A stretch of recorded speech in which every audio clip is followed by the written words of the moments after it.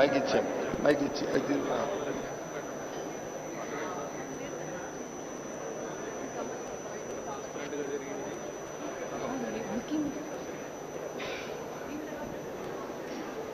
వేదికలు అలంకరించినటువంటి గౌరవనీయులందరికీ నాతో పాటు సెలెక్ట్ అయిన అభ్యర్థులందరికీ వేదికల మీద అలంకరించిన గౌరవనీయులకు నా హృదయపూర్వక నమస్కారములు.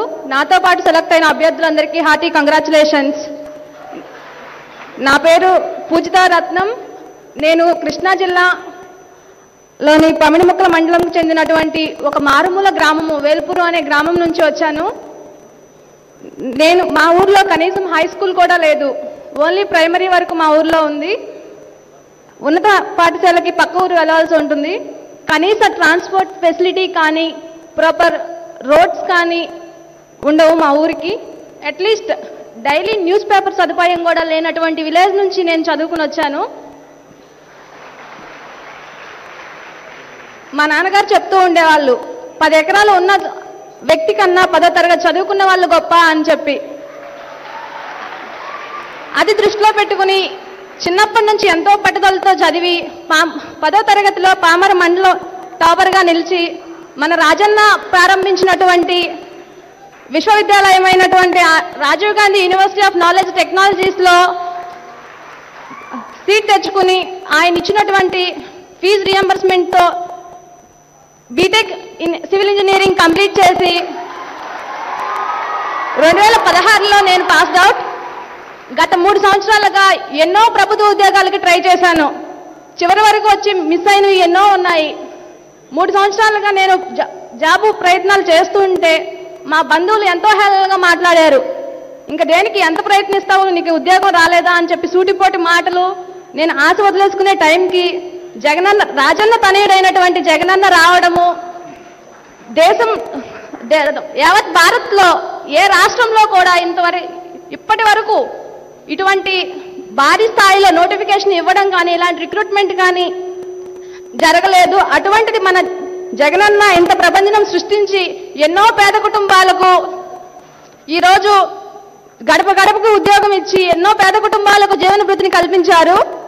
అటువంటి జగనన్న రాజన్న ప్రవేశపెట్టిన విద్యా సంస్థలో చదువుకుని ఆయన తనయుడైనటువంటి జగనన్న ఇచ్చిన ఉద్యోగాన్ని సంపాదించుకుని ఈరోజు కృష్ణా జిల్లా నలుమూలల నుండి వచ్చినటువంటి ప్రజల ముందు నేను నుంచుని మాట్లాడటము ఆయన చేతుల మీదుగా ఈ అపాయింట్మెంట్ ఆర్డర్ తీసుకోవడం నేను చాలా అదృష్టంగా భావిస్తున్నాను. ఇంత చంద్రబాబు పద్నాలుగు సంవత్సరాలు పాలించారు. ఆయన పాలించినటువంటి పద్నాలుగు సంవత్సరాల్లో కనీసం పద్నాలుగు వేల ఉద్యోగాలను కూడా కల్పించలేకపోయారు. అలాంటిది జగనన్న పాలనలోకి వచ్చిన కేవలం వంద రోజుల్లో నాలుగు లక్షల ఉద్యోగాలను సృష్టించి ఎన్నో కుటుంబాలకు ఆసరాగా నిలిచారు. Sir a small request from my side మీరు పదవిలోకి వచ్చి ఓన్లీ త్రీ మంత్స్ అవుతుంది కదా. ఇంకా మీ పదవీ కాలం చాలా ఉంది. ఇలాంటి నోటిఫికేషన్స్ మరెన్నో ఇవ్వాలని కోరుతూ ఎంతో మంది పేద ప్రజలకు ఆశ్రయంగా నిలవాలని చెప్పి నేను కోరుకుంటున్నాను. Thank you for providing. This golden opportunity to speak in front of Krishna district these many people thank you one and all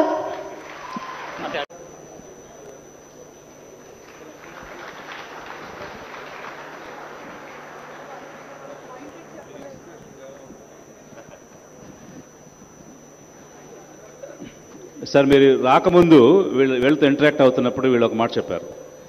మేము తీసుకోవటమే కాదు తిరిగి ఇవ్వాలని కూడా మాలో ఉంది అని చెప్పేసి. ఏం తిరిగి ఇవ్వాలనుకుంటున్నారో సార్ వచ్చినప్పుడే చెప్పండి అని నేను చెప్పాను. అందరికీ నమస్కారం. నా పేరు అబ్దుల్ ఖాలిక్. నేను గ్రామ సచివాలయంలో డిజిటల్ అసిస్టెంట్ పోస్ట్కి సెలెక్ట్ అయ్యాను. నేను చిన్న పల్లెటూరు నుంచి వచ్చానండి. జడ్పిహెచ్ స్కూల్ నుంచి చదువుకొని వచ్చాను. చిన్నప్పటి నుంచి ఇంజనీరింగ్ చేయాలనేది నాకు ఒక కోరిక ఉండేది. కానీ ఇంజనీరింగ్ చేయాలంటే చాలా మనీ కావాలి. ఎలా అని ఆలోచించే టైంలో దివంగత నేత డాక్టర్ వైఎస్ రాజశేఖర రెడ్డి గారు ఫీజు రియంబర్స్మెంట్ అనే ఒక పథకాన్ని పెట్టారు. కేవలం ఆయన ఉండటం వల్లే నేను ఇంజనీరింగ్ చేయగలిగాను. ఇవాళ ఆయన తనయుడు శ్రీ వైఎస్ జగన్మోహన్ రెడ్డి గారి వల్ల మాత్రమే నేను ఇవాళ జాబ్ తెచ్చుకోగలిగాను. వా వారికి వారి కుటుంబానికి నేను ఎన్నిసార్లు థ్యాంక్స్ చెప్పుకున్నానో నా మనసులో ఎవరికి చెప్పుకోలేదు ఇంతవరకు. ఇప్పుడు సభాముఖంగా మీ అందరికీ తెలియజేస్తున్నాను. ఈ గ్రామ సచివాలయం పోస్ట్కి నేను ఫస్ట్ అప్లై చేసినప్పుడు చాలామంది చెప్పారు నాకు ఎందుకురా నువ్వు ఇలా అప్లై చేస్తున్నావు? మనీ వస్తేనే ఇలా గవర్నమెంట్ జాబ్ వస్తుంది లేకపోతే ఇన్ఫ్లుయెన్స్ ఉంటేనే గవర్నమెంట్ జాబ్ వస్తుంది అని చాలామంది నన్ను డిస్కరేజ్ చేశారు. కానీ నేను ఏమేం పట్టించుకోకుండా మన ప్రయత్నం మనం చేద్దామని చెప్పి నేను అప్లై చేశాను. అప్లై చేసిన దగ్గర నుంచి ఇప్పుడు దాకా నేను ఎవరి దగ్గరికి వెళ్ళి ఇన్ఫ్లుయెన్స్ తీసుకోలేదు ఎవరి దగ్గరికి వెళ్ళి ఒక మనీ ఒక రూపాయి కూడా కట్టలేదు. కేవలం కష్టపడి చదివాను మెరిట్లో ర్యాంక్ వచ్చింది జాబ్ వచ్చింది. జగన్ గారి ప్రభుత్వం జగన్ అన్న చెప్పినట్టుగా అవినీతి అవినీతి లేని పాలన అందిస్తా ఉన్నారు. దానికి ఉదాహరణ ఈ రిక్రూట్మెంట్ అని చెప్పగలను. ఆంధ్రప్రదేశ్లోనే కాకుండా భారతదేశం మొత్తంలో కూడా ఇంతవరకు కని విని ఎరుగని రిక్రూట్మెంట్ ఇది. ఇందాక గౌరవనీయ ఒక సీనియర్ అధికారి గిరిజయశంకర్ గారు చెప్పారు ఇంత ఇంతవరకు ఇలాంటి రిక్రూట్మెంట్ ఎక్కడా జరగలేదని. సార్ నిజంగానే మేము కూడా ఊహించలేదు సార్ ఇంత రిక్రూట్మెంట్ జరుగుతుందని. ఇంకా ఇంకేమన్నారంటే ఆయన ఇంక ముందు కూడా అలాంటి రిక్రూట్మెంట్ జరగదేమో అని చెప్పారు. ఖచ్చితంగా నేను చెప్పగలను సార్ ఇది జగన్ గారి నాయకత్వంలో ఆంధ్రప్రదేశ్ ప్రభుత్వం ఇంతకంటే పెద్ద నోటిఫికేషన్ ఖచ్చితంగా మళ్ళీ వస్తుందని నేను ఖచ్చితంగా చెప్పగలను. అలాగే నేను ఈ సంవత్సరమే పాస్ అవుట్ అయ్యింది సార్. ఈ సంవత్సరం ఇంజనీరింగ్ కంప్లీట్ చేశాను.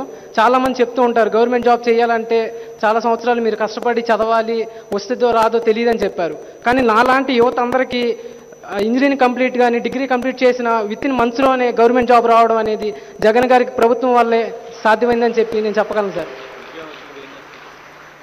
అలాగే నాకు ఇచ్చిన విధుల్ని నా మనసా వాచా కర్మన పాటిస్తానని చెప్పి జగన్ గారి ప్రభుత్వానికి ఆంధ్రప్రదేశ్ ప్రభుత్వానికి అందరికీ మంచి పేరు తీసుకొస్తానని చెప్పి మా గ్రామ ప్రజలకు కూడా మా ఇంట్లో వాళ్ళకు కూడా మంచి పేరు తీసుకొస్తానని చెప్పి నేను సభాముఖంగా యూ నాకు ఈ అవకాశం ఇచ్చిన అందరికీ థ్యాంక్ యూ